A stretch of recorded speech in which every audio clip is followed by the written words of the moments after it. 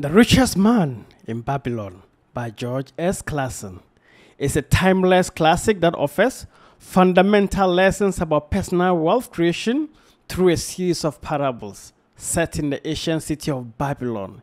Here are five key takeaways from the book. Number one, pay yourself first. Clason introduces the concept of paying oneself first, suggesting that at least a tenth of all earnings should be set aside as savings. This forms the foundation of personal wealth, emphasizing the importance of self discipline in money management. Number two, make your money work for you. The book stresses that accumulated wealth should be invested wisely to generate passive income.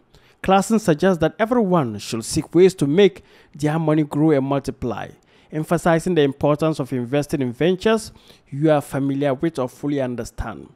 Number three, invest wisely. The richest man in Babylon warns about the risks of thoughtless investment. Clason advises consulting with wise men or experts before making investments. Avoiding scams that promise huge returns with little risks or effort. Number four, live below your means. Clason recommends the practice of living below your means and avoiding unnecessary debt. The principle is simple your expenses should be less than your income.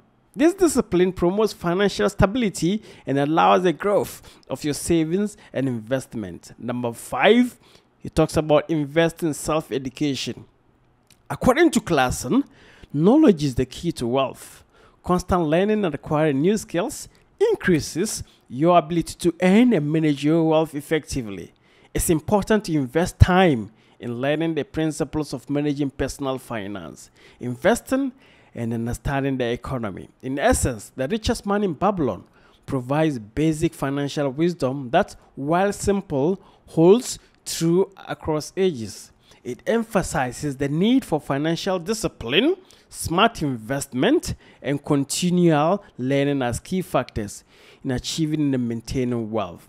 Get this book and you will never regret. If you want to learn, if you want to invest, this is the book you should be targeting.